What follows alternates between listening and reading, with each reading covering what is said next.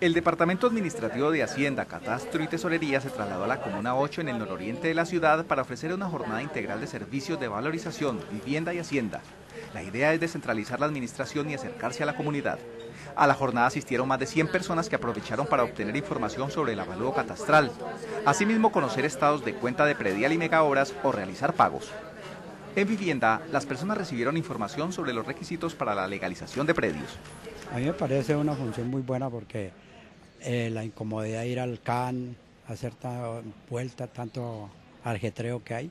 Es muy bueno que vengan aquí a la, a la Comuna 8.